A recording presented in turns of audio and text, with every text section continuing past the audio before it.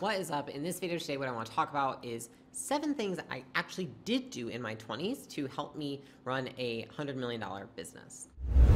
And this comes from the spin of I had a bunch of different people ask me, like, you know, what are things that you would wish that you had done when you were younger um, to give you the success you have now? And I think that that stems from one, thinking I'm a lot older than I am because I'm only 29, and two, I actually think that I I'm I am proud of the decisions I did make when I was in my 20s, um, even though I'm still in my 20s, but in my earlier 20s, because I actually think that they led to a lot of the success I had. And so I kind of want to dissect those because I think that understanding why you succeed is just as important as understanding why you fail, right? They're both experiences. And so if you have a experience you don't like, you want to dissect why you don't like it or why it didn't work. If you have one that you do like, you want to dissect and understand why it did work. And so I've spent a lot of time trying to dissect like what prepared me for this opportunity. Uh, and to run a company of this size and to grow it to as big as we have with no experience. And so I have dissected the seven things that I believe contributed to my success. Okay. The first one was investing all of my money into myself. When I was um, the day after I graduated college, which was absolutely useless, just in case you're wondering, I moved out to California and I had like $5,000 and I signed a lease for an apartment and I didn't have a job, I didn't have anything, but I knew I would take that money and I would invest it into living in California where I could find an opportunity in fitness for myself. And I had no idea what I was going to do. I had no idea what I was going to do with the money. I had no idea how long it was going to last me. Um, but I knew that I needed to use that money to get myself an opportunity outside of Michigan, which is where I grew up. And I just knew that there were way more opportunities in, in California. Like that is the mecca of fitness and stuff. I can make it out there. I can make it anywhere. That's kind of how I was thinking. And as soon as I got there and I started actually making money from my job, which was you know selling at gyms, um, that's when I then took the money that I was making from that and invested into courses and coaches, right? And so I remember the first time I finally had $8,000 in my bank account and I bought a course that was $4,000. And I will not forget, I went and I watched like three and a half hours of the course. And I realized very quickly that this course was like the level three course. And I bought it from some dude that was using it, like he's promoting on ClickBank and I had no idea what I was listening to. I was like, I obviously missed the first two levels. And so I went through the whole course. I kind of understood what was going on, but then I realized I was like, this wasn't the right course. Like, not at all. And the thing is that a lot of people would look at that and be like, oh, I regret that decision, et cetera, et cetera. And I'm like, I do not at all. Because if I said to myself, if the thing I learned from that decision was, oh, I should stop investing in myself because, you know, these courses aren't worth it, then I wouldn't have bought any of the other, you know, I don't even know, 50 to 60 courses that I bought since then that have tremendously helped me. And so I didn't let it stop me, and I continued to invest every last dollar into myself, even when the thing that I was investing in maybe didn't work. I didn't expect them all to work. Work, right? I didn't expect them all to be the right fit for me at the time.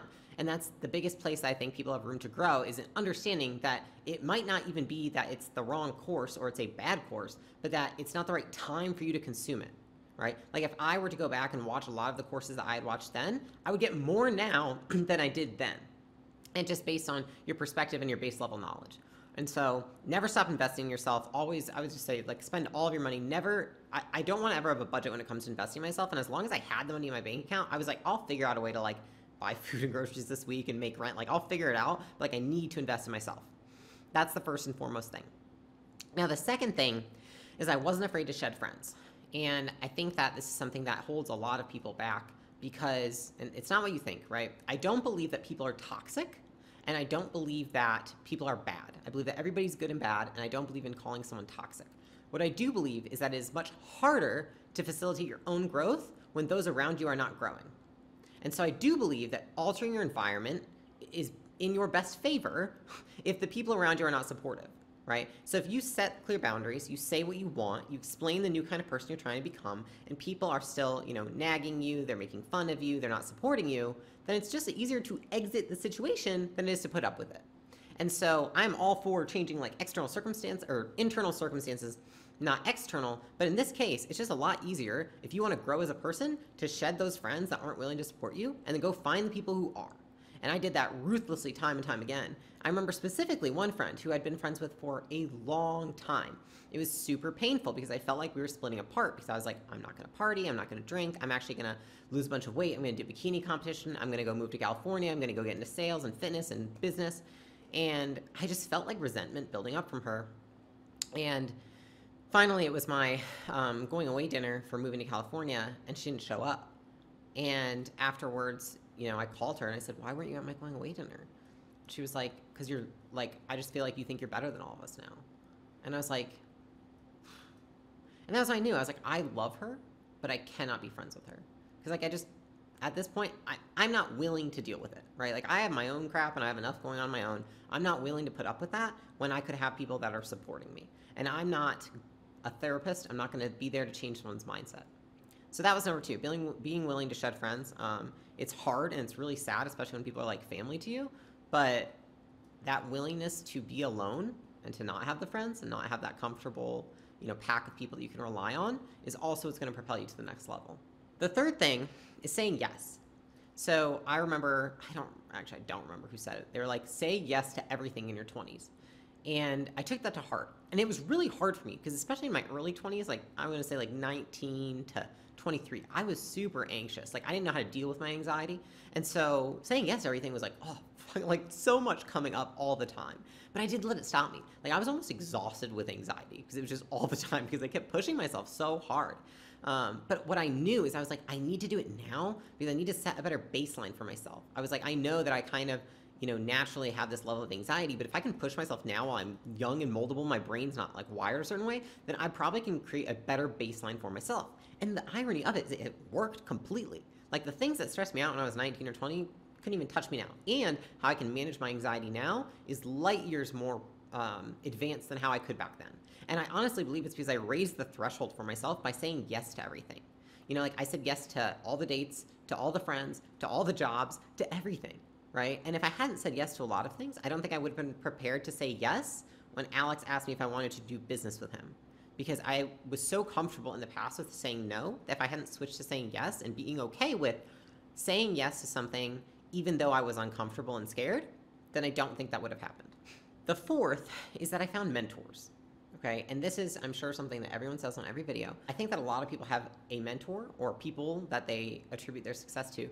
I think what I noticed is that there's not one single person that was a mentor to me. I found different mentors for different areas of life, and to this day, I still do that. You know, like if I want to learn about wealth, I want a wealth mentor. If I want to learn about health, I want a health mentor. If I want to learn about, you know, being a CEO, I want a CEO mentor. I don't believe that one person is the end all be all to mentorship or that, um, you know, we should ever limit ourselves to having just one for each area. I think that everyone brings a different perspective. And so I invested, like I invested a lot of money in courses, I also invested in having coaches. And because of that, I was also very uncomfortable because I had no money left over at the end of every month. Like I was spending all the money I was earning on coaches and courses and learning. I just knew. I was like, I have to do this now because I don't want to be one of those people who doesn't utilize their 20s. So that was the fourth one was finding mentors. The fifth one is getting comfortable being alone. And my first experience with this was when I got an internship um, on my way out of college when I was graduating. And it was a really competitive internship. So they said, listen, we're going to have like hundreds of people apply. They're only going to interview 10, and then only two people get the internship. And they have to stay, you know, the entire semester at this resort that's, you know, one of the number one resorts in the United States. And they basically are a, you know, physical fitness health intern there. Um, and so I was really nervous, but I applied. Then they accepted that. They invited me for an interview. I had to fly out to California for the interview, interviewed there, and then two weeks later they told me I got it. And I was really excited, and also because it was like this pristine internship, right, which doesn't do crap later on in life, but nonetheless, um, I was also so terrified because I had to go live there for however long. I knew nobody. I'd never been there before. I know my way around. And I went there, and it was so much worse than I could have imagined.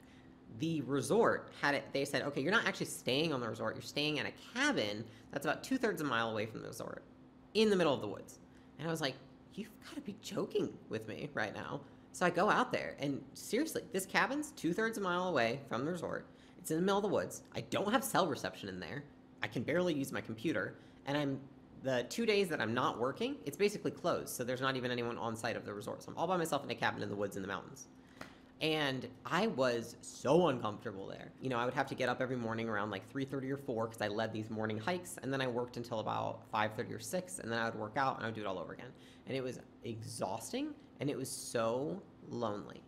But you know what happens once you get over the loneliness is that you find this place of bliss where you learn to know yourself.